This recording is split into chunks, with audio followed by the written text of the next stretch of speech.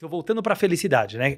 Claro que ser feliz é uma coisa fenomenal. Qual que é o grande problema? Que na hora que as pessoas colocam como meta de vida, eu quero ser feliz, e provavelmente ele tem uma pré-definição do, Do que é é feliz. felicidade, ele já matou a felicidade.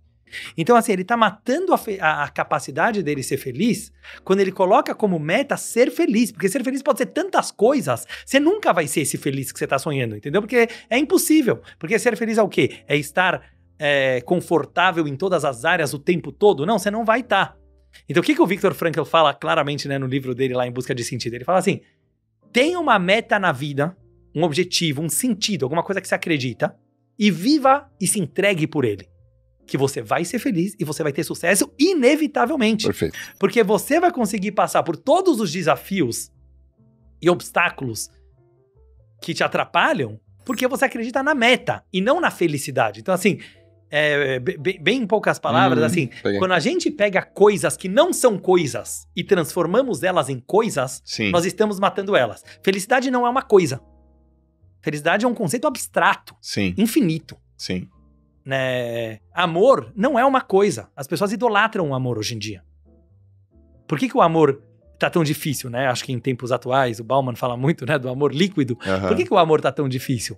Porque o amor antigamente era uma consequência do relacionamento. O amor ele nascia de um relacionamento, você começa a se relacionar com alguém, você vai amar essa pessoa, quanto mais você conhece ela, quanto mais você se entregar pra ela, quanto mais você conviver com ela, você vai amar. Sim. Agora, quando uma pessoa fala, preciso viver um grande amor, tá bom, então eu vou usar alguém da sociedade para poder viver o meu grande amor. É uma coisa super egoísta, certo? Sim. Porque na verdade eu estou tornando o amor uma coisa. E o amor não é uma coisa, a felicidade não é uma coisa, o sucesso não é uma coisa, Deus não é uma coisa, a religião não é uma coisa, a espiritualidade é uma coisa. Então, assim, quanto mais a gente ter a humildade de encarar esses conceitos abstratos como não coisas, como coisas infinitas, digamos assim, Dinheiro é uma coisa?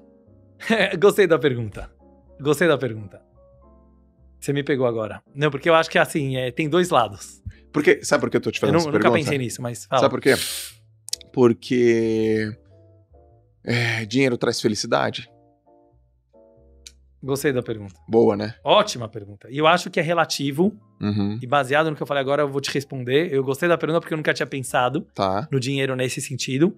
Pra mim, dinheiro não é uma coisa. Pra mim, dinheiro não é uma coisa. Tá.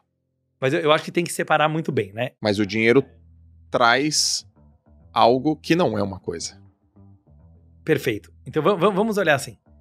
O dinheiro, o corpo do dinheiro, ele é uma coisa. O que, que eu quero dizer o corpo do dinheiro? O dinheiro é quantitativo, né? Você Sim. pode medir quanto dinheiro É, você é tem na sua conta. Ele é concreto. Ele é quanto concreto. dinheiro eu tenho na minha conta É.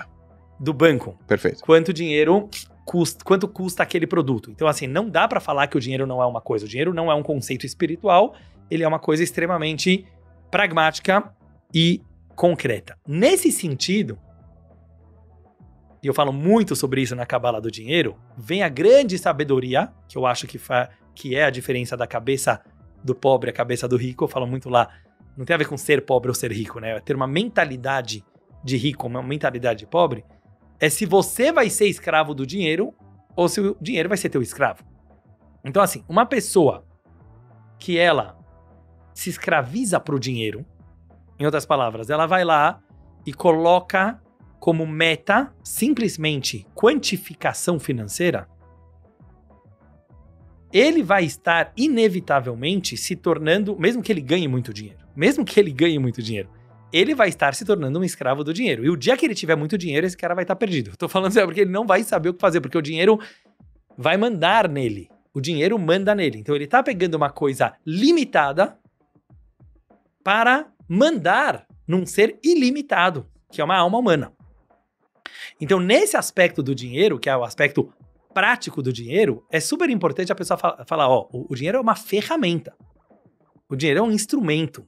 Ele é quantitativo, ele, ele pode ser medido.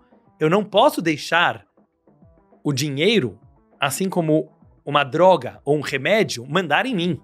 Eu posso usar ele o quanto for importante para a minha saúde mental. Quer dizer, ele tem que me servir e não eu servir ele. Agora, quando eu falei que eu tenho dúvida se o dinheiro é uma coisa ou não, é que eu acho que tem a alma do dinheiro. Você sabe que dinheiro em hebraico, eu sempre gosto de mencionar isso, é kesef. Ser. Kesef. Todo mundo tem que aprender essa palavra para Kesef. ganhar muito dinheiro. Kesef. Kesef, a traduz, vem, vem, vem do verbo em hebraico desejar. Ok. O que, que é o dinheiro, né? Agora, sem querer me prolongar nisso, mas se você pega historicamente, o dinheiro nada mais foi durante a história a criação de um denominador comum, né? Um, um- uma moeda em comum, que ela simboliza a possibilidade do ser humano desejar alguma coisa. Então, por exemplo, alguém que tem muito dinheiro tem mais capacidade de desejar. Não significa que ele precisa desejar tudo Certo. ou que ele deve realizar todos os seus desejos, porque aí provavelmente ele vai ficar pobre. Sim. Então, assim, a possibilidade de desejar, quanto mais dinheiro eu tenho no banco, e você vê que os grandes ricos, os verdadeiros ricos, quando eu falo rico, é rico de alma, rico de cabeça, eles fizeram muito dinheiro justamente porque eles não gastavam dinheiro em qualquer coisa que dá vontade na hora. Isso é uma alma mais pobre. Né? Tipo assim, ah, deu vontade, vai lá e compra. Entendeu? Sim. Então, eu acho que assim, a alma do dinheiro, que é a capacidade do desejar, ela é infinita também.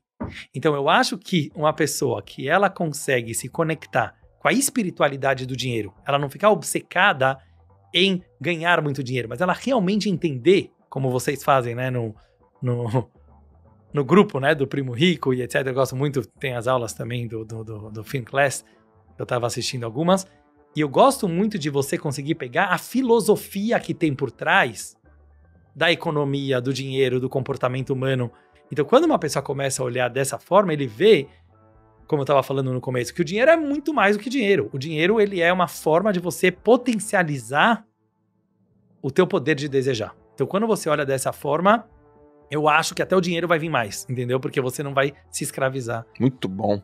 para isso. Essa, essa reflexão rende, hein? Essa rende, né? Essa Pra, vai te dar umas lives aí.